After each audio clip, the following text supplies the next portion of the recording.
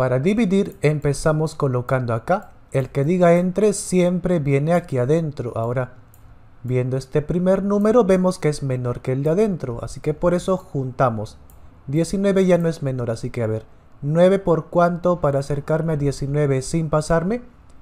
9 por 13 pasa, así que por 2 queda 18. Restamos y queda 1. Y como ya se restó, tendría que bajar un número, pero como no hay número que baje, ahí queda. ¿Es exacta? No, ¿por qué no? Si aquí al final hubiera quedado 0, ahí sí sería exacta, pero no fue así, quedó 1.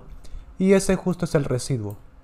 Cociente, lo que quedó aquí, que es 2, dividiendo lo que hemos dividido y divisor entre el que hemos dividido, o sea 9.